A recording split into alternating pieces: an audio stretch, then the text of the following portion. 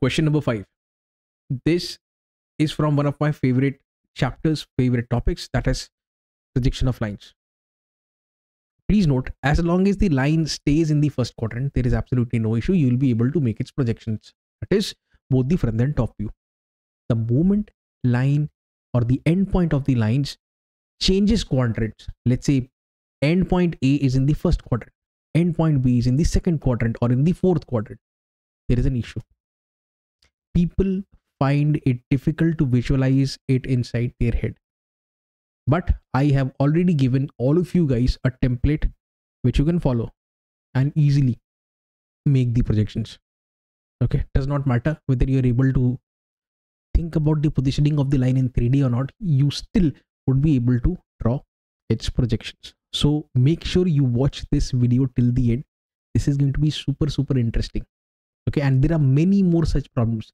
In this case, uh, it's it's it's something like this. The endpoint P is in the HP and at a distance of 25 millimeters from VP, whereas this endpoint Q is in the VP and 50 millimeters below VP.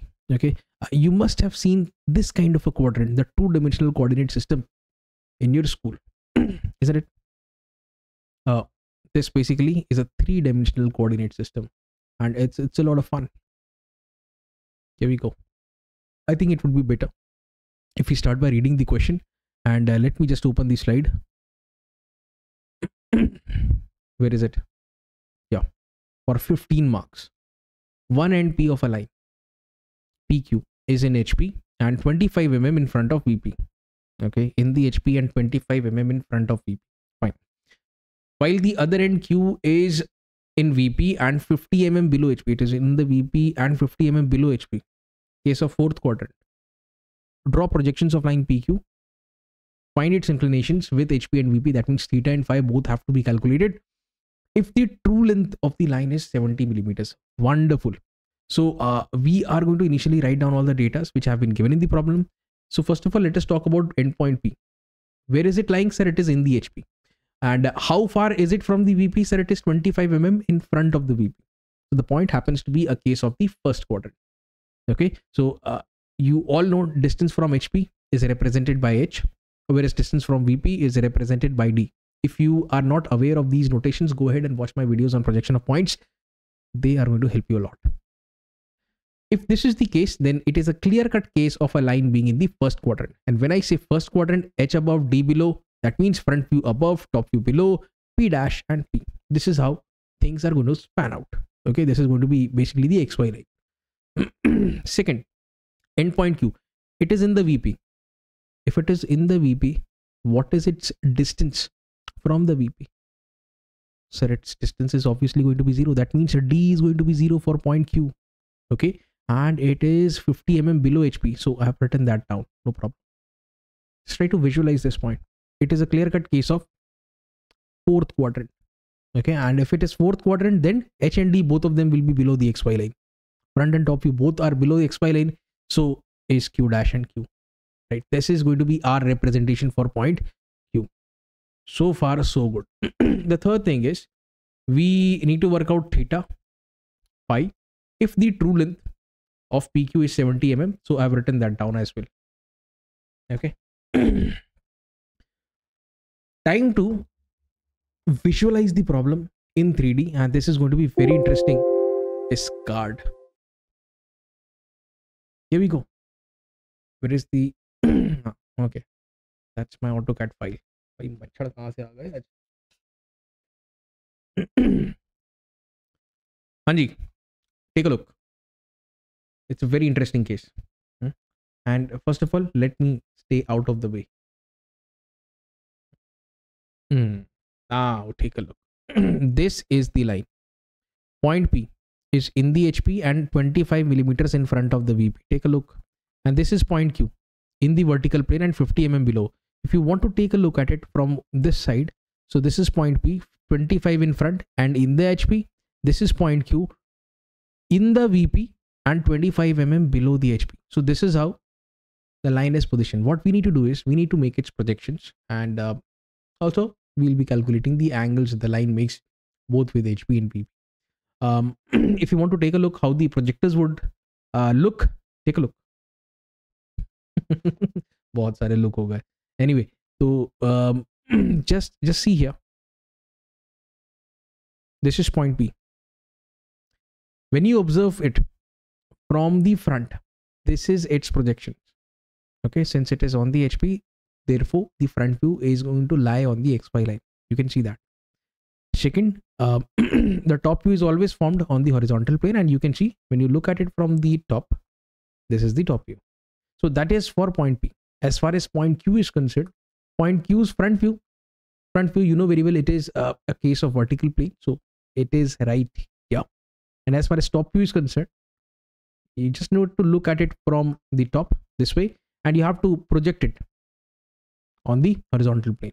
That's how you see it. This is going to be q. Now uh, the interesting thing is when you join p dash with q dash this is what you see. Okay? The line in green represents the final front view which apparently makes a angle alpha with the x line secondly the top view. When you p connect uh, when you connect p with q that is going to be your top view and this is how it would look. Hmm? the one in this aqua color or cyan. Okay? Are we good to go? So this is how the actual arrangement is. And i am very much sure even after watching this arrangement of the line in 3d most of the students would fail to create its projections on a plain sheet of paper. That's a fact. Hmm? it's a complicated question but with the help of the template we are going to find an easy way out.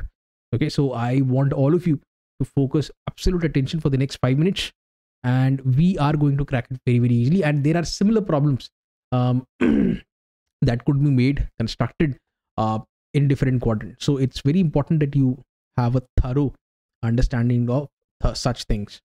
Take a look now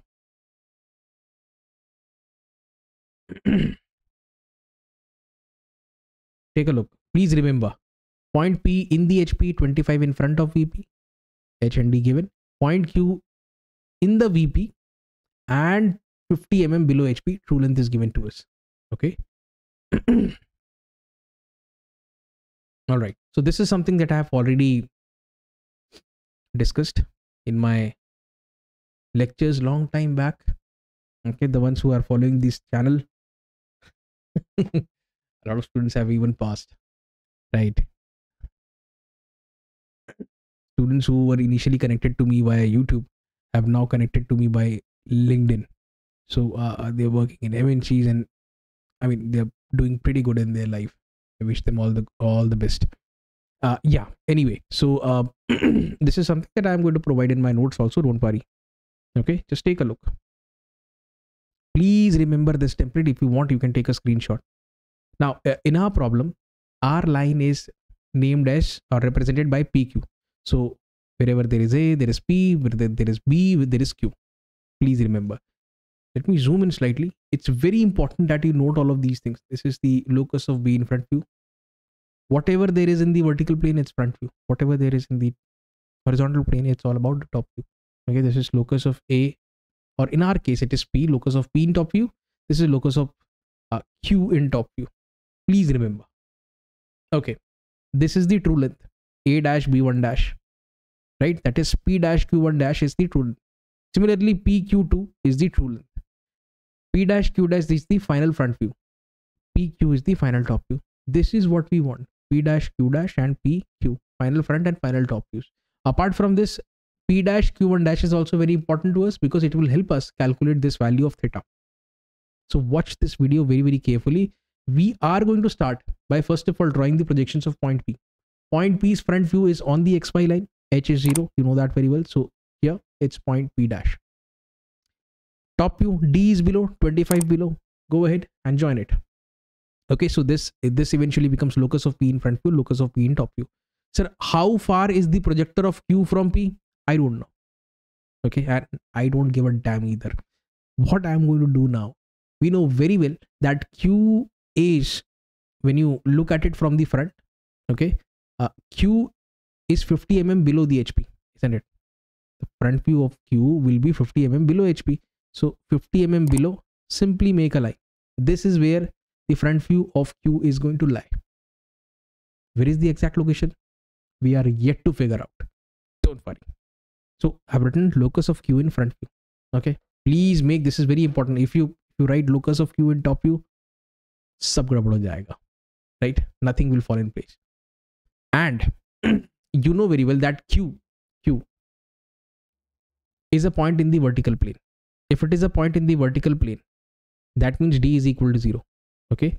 Which essentially means its top view is going to lie in the on the xy line. So its top view is going to be somewhere here. Locus of q in top view is here. I don't know the location where but somewhere here along this line okay? So far so good what is the next thing that you'll do? Sir let's refer to this template and let's crack the true length.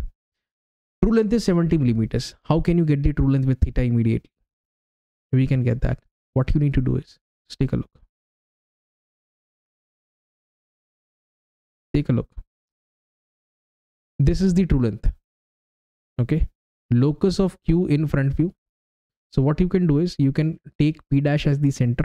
Listen to what i say Hmm, maybe you need to watch the videos two to three times. I'm not going to be repeating. Take p dash and center and cut an arc. Arc of? Arc of 70 millimeters. That is the true length. Okay? On the locus of q in front view. Right? With p dash as center. Put an arc of radius 70 millimeters on the locus of q in front view. Let me do that. With p dash as center right? And on the locus of q in front view you need to put an arc of 70 millimeters. Done. Here we go. This is q1 dash. Connect. That's the true length. True length and this by the way you guys can calculate do the measurement. This is theta. I'll write the answers over here when the complete projection finishes. That's the first thing. Second thing you can do refer to this template again. Now with ps center and with 70 millimeter as radius you need to cut another arc. This is going to help you get the q2 okay with ps center and with radius as 70 millimeter cut an arc again on the locus of q in top view. Where? On the locus of q in top view. Okay so with ps center cut an arc again on the locus of q in top view. This arc is having a radius of 70 millimeters. Join this by the way is your angle you can do the measurement using a protractor. Now what's up now comes the time where we are going to refer to this template again. So we have access to q1 dash we have access to q2 yes? Okay. So from q1 dash you need to drop a perpendicular until it reaches the locus of p in top view.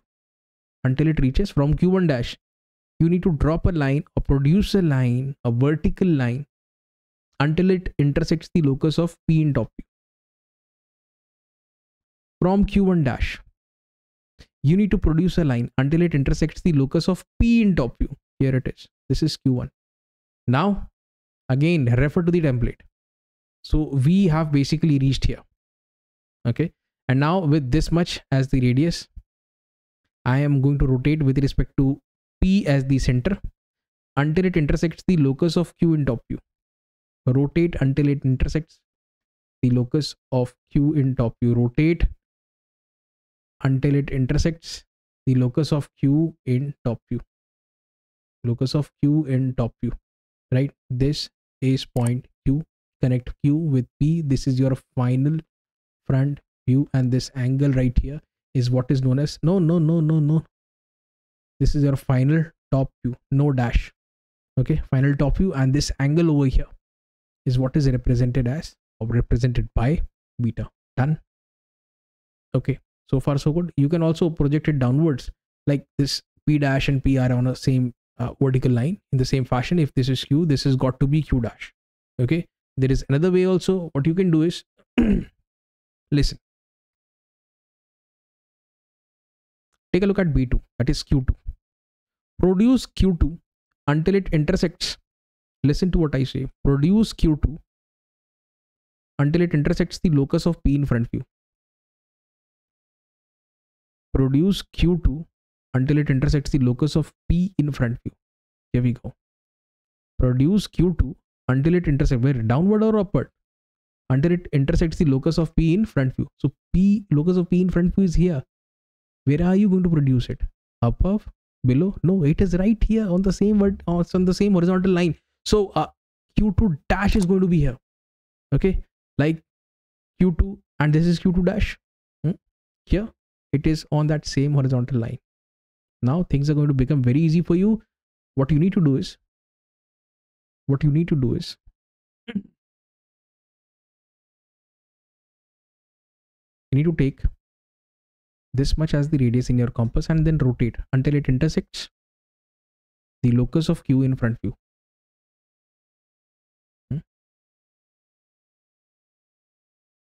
this way. Okay.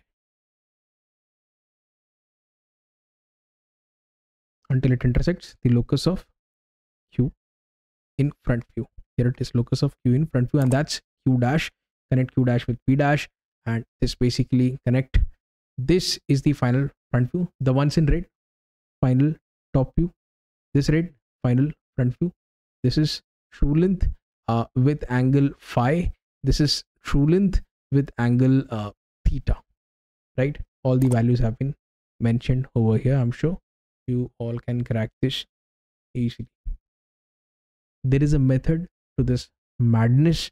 Let me tell you very honestly uh, there i mean it's good if you try to think about this problem in 3d but i believe that there is a problem. I mean there is an issue. Everybody cannot think of a line in 3d it is difficult. When this is the case you can use such methods. Use the template and crack the problem